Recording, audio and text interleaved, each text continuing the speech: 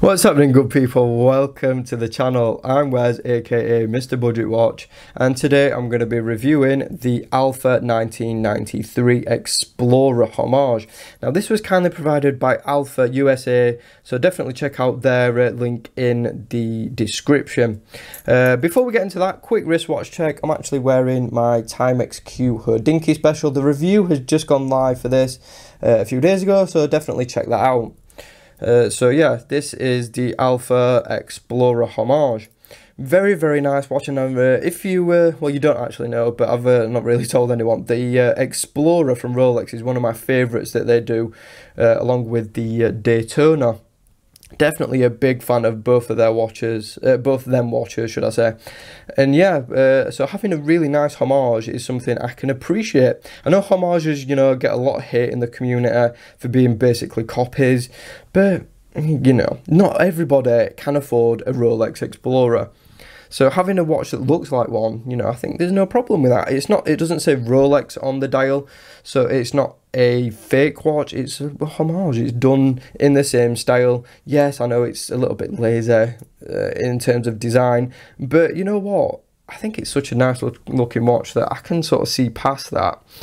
So anyway, uh, let's get the uh, specifications out of the way. So this one is a little 36 millimeter, so it's really, really small. It's 12 millimeters thick.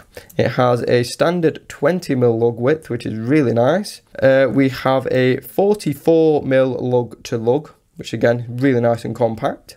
We have a sapphire crystal, 316L case and bracelet, 50 meters of water resistance. It weighs 100 gram, sized up for me and my 6 inch wrist and it has a screw down crown and a screw down case back. So uh, let's take a look at this watch in more detail. So starting off with the bezel, you can see it's got like a beveled edge and it is high polished, just as it is on the Explorer. As you'll know from uh, watching my reviews, I'm not a huge fan of uh, polished surfaces, but I think in this case it actually works quite well. So I'm not really going to complain about it too much, and that's that.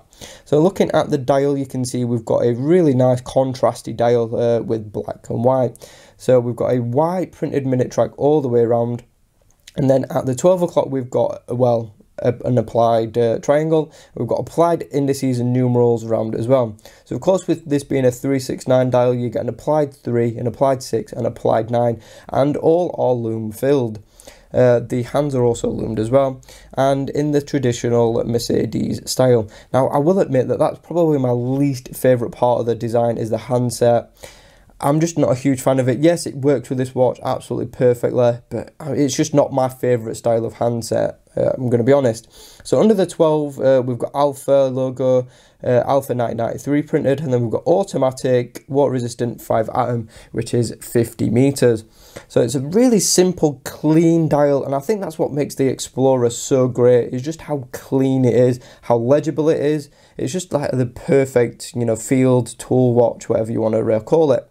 So now we get on to uh, my first bigger issue with this watch and that is the finishing on uh, the uh, top of the lugs. So as you can see it is brushed but the brushing is very very coarse and I can actually run my finger on it and feel the different brush strokes.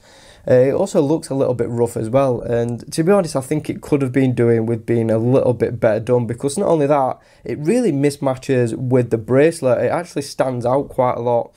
And yeah, I just think it looks a little bit a little bit off-putting actually. Uh, I think they could have done a little bit of better job with the finishing. Uh, you can see at the side we uh, have got all high polish and you know uh, this channel by now I'm really not a huge fan of it.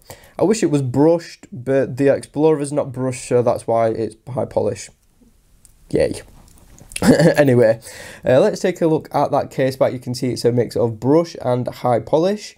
Uh, it is screwed down as well in the Rolex style, so there's actually no notches. You need a special uh, case back remover to get it off, which is a bit of a pain in the backside. And then you have a look at the movement inside, but more on that later on. So all in all for the design and build, very, very uh, solid feeling case. Uh, we forgot to mention the crown. Uh, it is screwed down, like mentioned, and signed. But anyway, uh, build quality feels really good uh, for the watch case. It feels really nice and well put together. Really love that clean dial. Handset, not my favourite. Case back looks really nice as well, done in a Rolex style exhibition. Definitely gets a thumbs up from me. So now we get on to the bracelet, and this unfortunately is a little bit of a letdown for me. So you can see it's just a typical oyster style, so nothing to write home about really. We have solid links, which is a big plus, and then it gets let down with hollow end links and this really, really uh, cheap pressed clasp. Uh, uh, the clasp part is actually uh, not too bad. You can see we've got the Alpha logo and it is brushed, which is really nice. Tons of micro adjustment, which is absolutely awesome for getting a perfect fit. So that's a big, big, big plus. Gets a uh, thumbs up. But it really falls down with the press part. I mean, mill clasps are not that expensive now, so not having one is a little bit, a little bit irritating, to be fair. Um, so anyway, that maybe that's a future upgrade they can make. And you can see we've got a, you know, uh, etched there as well. You can just see that. So yeah, it's yeah a little bit of a mixed bag. I mean, it's plenty flexible uh, between the links. You know, it's a really flexible bracelet. It's just let down by the press clasp and hollow end links. So yeah, a little bit of a shame there. So now we get on to in use, and this unfortunately is another you know little bit of a downer for me, and it's the crown because it's so small and screw down, it is such a pain to actually unscrew and screw back in. It is a nightmare to use. And with this being an automatic, it means you've got to do it a lot and use the crown a lot. So I think they could have done with making the crown a little bit bigger. Uh, the grip is alright once you actually get the crown out, but it's just a nightmare. So what you have to do is sort of get it from the back. You can just see there's a little recess there where you can just uh, grab it. So you have to sort of pinch it and unscrew it. And then eventually it does pop open and then you just have to get your fingernail in and pull it out.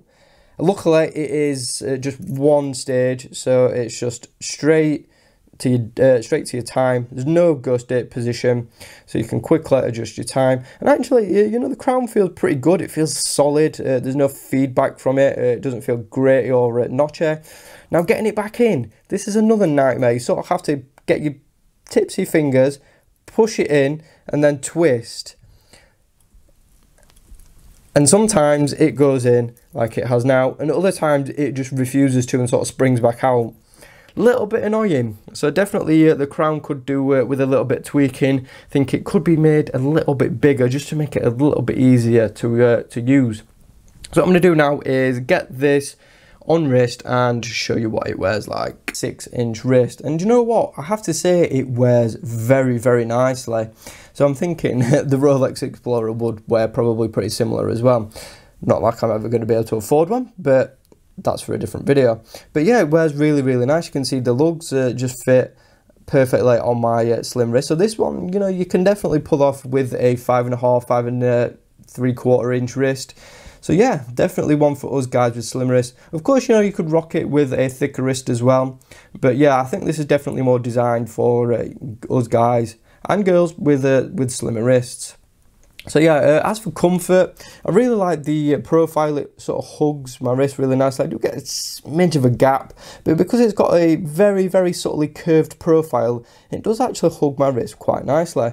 Uh, the lugs don't overextend past my wrist, which is really nice aesthetically as well. Uh, so yeah, it's definitely a nice wearing watch for uh, us with slim wrists.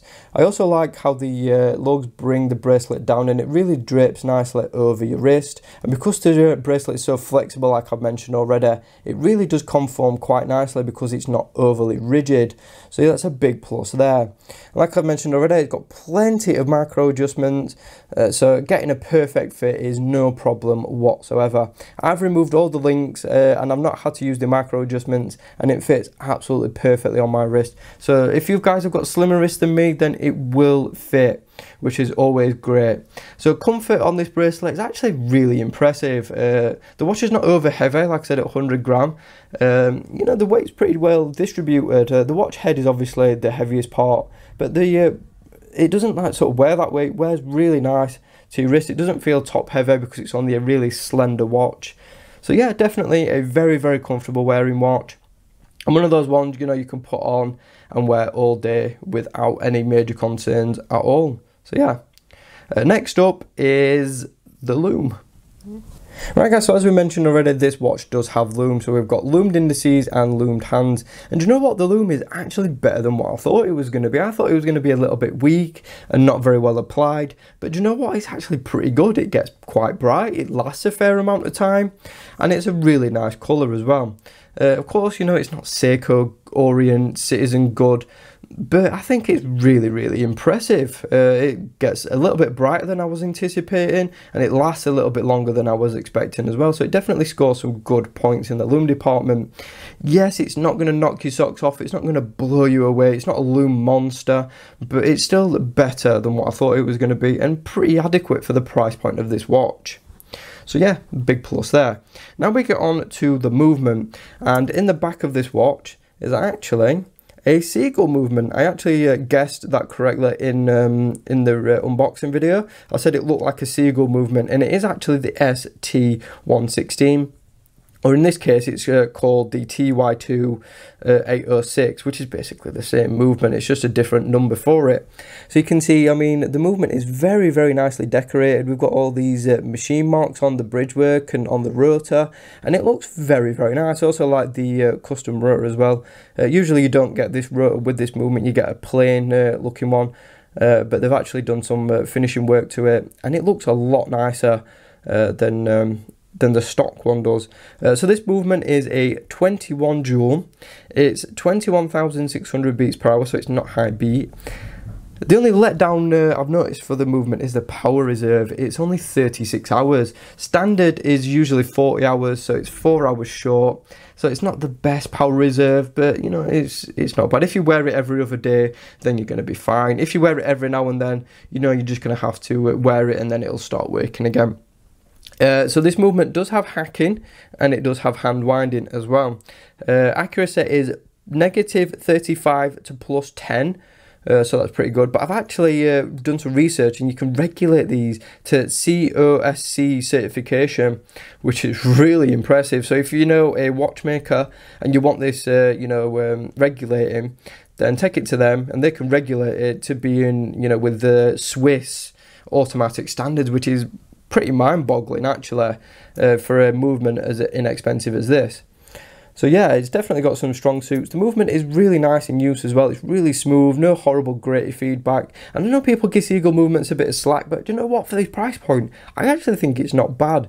And I think, you know, it's nice and refreshing to see a watch without a Seiko automatic in it. So yeah, props to Alpha for using something a little bit different. So now we get on to the verdict. What do we think Oops, it's trying to escape. Uh, what do we think of this watch?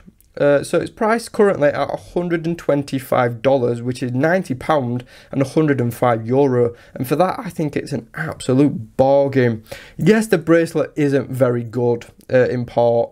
It definitely needs a milled clasp and uh, solid end links, but you know that might have drove the price up a little bit. But I would have been, you know, willing to pay. Uh, well, I would pay extra for you know solid end links and a milled clasp so it just makes it feel a much more premium product. But yeah, $125, 90 quid, I think that's definitely worth it. You might want to consider, you know, swapping out the bracelet.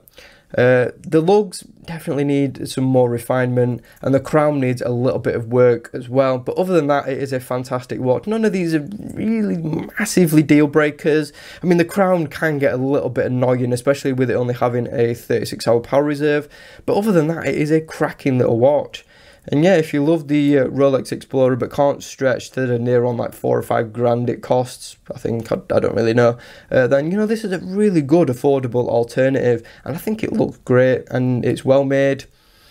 Yeah, so definitely uh, gets my seal of approval. Uh, link for purchasing is down in the description. So don't forget to subscribe for more content coming very, very soon. So thanks again. I'll see you soon.